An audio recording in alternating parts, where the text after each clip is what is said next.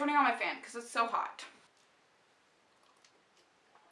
Hello everybody, it's me Savannah. As you guys know, once you hit Halloween, it's kind of that moment of like when you're up on the mountain but not at the top part where you can like see and everything is clear and beautiful, aka Christmas break, you're just kind of like at the very last minute where you have no energy and you just want to get to the top because you hate exercise, aka the time between Halloween and Thanksgiving break.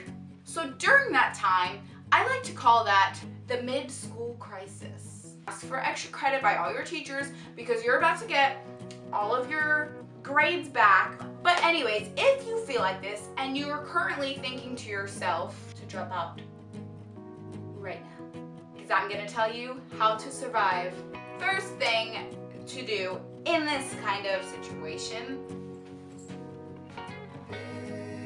Yes, Miss Carlton, I totally did your homework. It's right here. Hold on, I'll get it. Uh, I guess, um, yeah, you have to do your homework. You have time, okay? This little device, yes, I know that's Matty Healy, and yes, I know it's distracting. This is a no-go You see this? This is a backpack. I'm gonna show you what's in the backpack. It's like a short little guru video or something. This is my binder.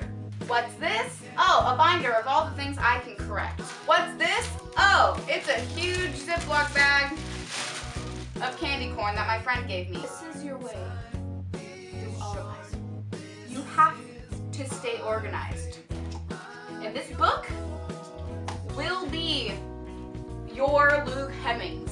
This will be your One Direction. This will be you, okay? You will live through this book for four years out of your high school. Actually, you'll only live through this once because it's only 2014. So, disregard that fact. And it will be the way you keep track of everything I just showed you.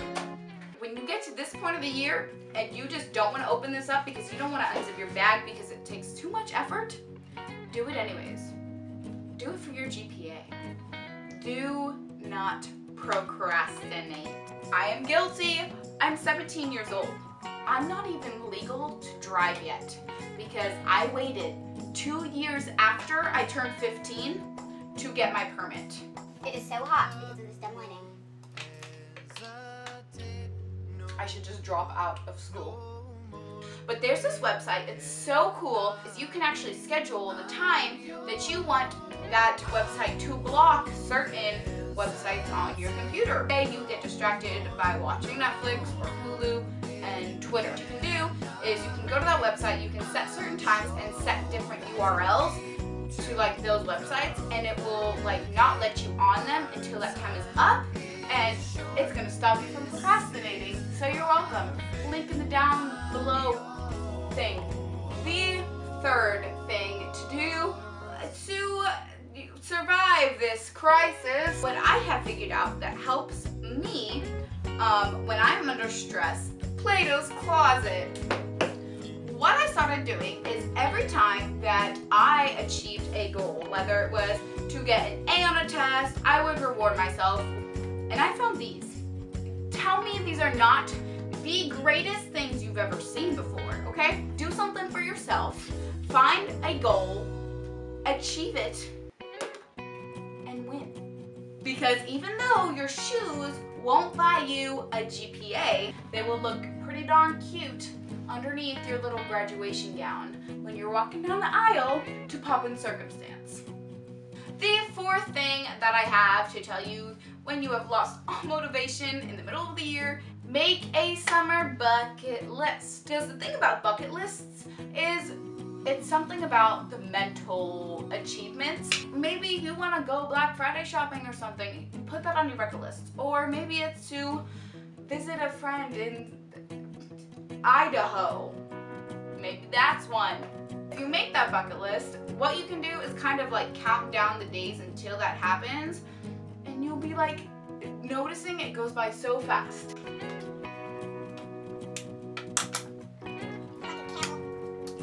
Not to mention, I look like literal trash because I'm wearing a school t-shirt. There, I feel like an actual real citizen. Final tip, have fun. This is gonna sound so cliche, and you guys are gonna think like I'm the weirdest person ever and that I actually like school.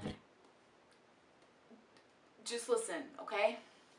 You are only in high school like four years out of however many years you live. High school isn't that much time in your life and you should literally just enjoy every minute of it. Anyways, my Instagram, my Twitter, and my Snapchat will all be below, so you should follow those and subscribe. And I'll see you guys next time. At this time next year, we gon' be the same two kids with a dream.